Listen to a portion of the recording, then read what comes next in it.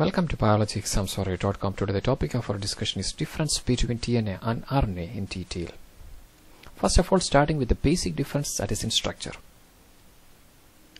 DNA is deoxyribonucleic acid where the sugar is deoxyribose. And this is the structure of a nucleotide, the building blocks of a DNA molecule. A nucleotide consists of a nitrogenous base, a sugar and a phosphate group. In the case of DNA, this sugar is deoxyribose. In the second carbon position, there is hydrogen atom. Whereas in the case of RNA, RNA is ribonucleic acid. Here the sugar is ribose. There is not much difference in structure. This is a phosphate group and this is the nitrogenous base and this is a sugar. In RNA, the sugar is ribose. In the second carbon position, there is hydroxyl group. In the case of DNA, it is hydrogen. That's why DNA is called as deoxyribose where an oxygen atom is missing. Whereas in the case of RNA, it is OH group. And this is a basic difference between DNA and RNA. DNA is double-stranded and self-duplicating and is comparatively more stable, whereas RNA is single-stranded, not self-duplicating and is less stable. DNA is double-stranded whereas RNA is single-stranded. The stability of this DNA is due to the presence of this hydrogen group at the second position whereas in the case of RNA it is ribose sugar at the second position there is OH group hydroxyl group which is more reactive so that RNA is more reactive compared to DNA making it less stable. Now moving into the second difference that is also regarding the structure. This is regarding the presence of nitrogenous bases. The bases in DNA are adenine, guanine, cytosine and thymine. And these are the four bases. Adenine and guanine are two-ringed and are called as purines whereas cytosine and thymine are single ringed and is called as pyrimidines. It is very easy to remember these. These pyrimidines PY and cytosine also, thymine also both are having the letter Y. Whereas in the case of RNA the bases are same except thymine. In place of thymine there is uracil in RNA. And these are the nitrogenous bases in DNA. The thymine is replaced by uracil. That's the only difference in nitrogenous bases. Now the third difference that is regarding the occurrence. DNA is a genetic material in all organisms that is from bacteria to blue whale, from single-celled to multicellular organism. Whereas RNA is not at all a genetic material in organisms, it is genetic material only in some viruses like retroviruses.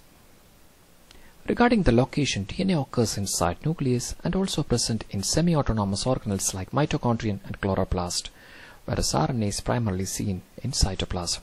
Difference number 4 that is regarding the types. There are two types of DNA. First one is intranuclear or nuclear DNA. And this is a DNA that stores genetic information and that will be transferred to the next generation. Whereas extranuclear or organellar DNA, that is a DNA that is present in semi-autonomous organelles like mitochondrion in eukaryotic cells and also chloroplast in plant cells. And these organelles are called as semi-autonomous organelles because majority of the proteins for these particular organelles are coded by nuclear genes. Only some proteins are coded by mitochondrial and chloroplast genes.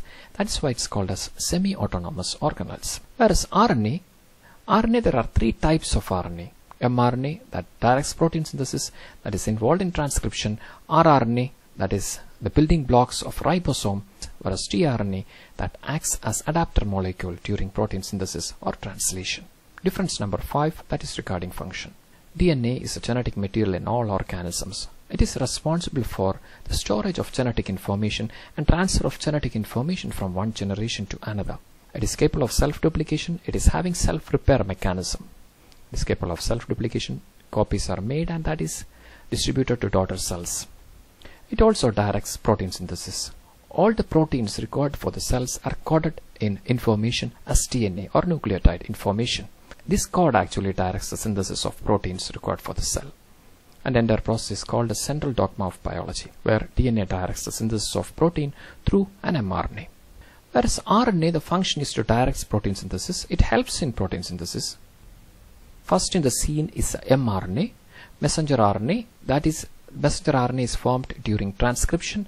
This DNA template is converted to mRNA. One strand is used as a template and this code is decoded to mRNA and that process is called as transcription. And the next step these codons will be recognized by anticodons of tRNA. tRNA will access adapter molecule with amino acids at one end and sequentially amino acids are added by this tRNA molecule. So this acts as an adapter molecule during protein synthesis. And finally, rRNA. rRNA is a major constituent of ribosome, the protein synthesizing nanomachines on which proteins or polypeptide chains are made. These are the functions of RNA, mRNA that is involved in transcription, tRNA acts as an adapter molecule in polypeptide chain formation, whereas rRNA that is a major constituent of ribosome. And many RNA are with enzymatic activity and are called as ribozymes. It, it was believed that once there was an RNA world where this RNA is capable of storing information and also capable of doing enzymatic activity of present day proteins and RNA could do all these things storage and also the activity of proteins. Later specific molecules are evolved as DNA and proteins. The presence of ribozymes is often cited as a strong evidence for the presence of an RNA world. Hope things are clear. Are with biologyexams4u.com.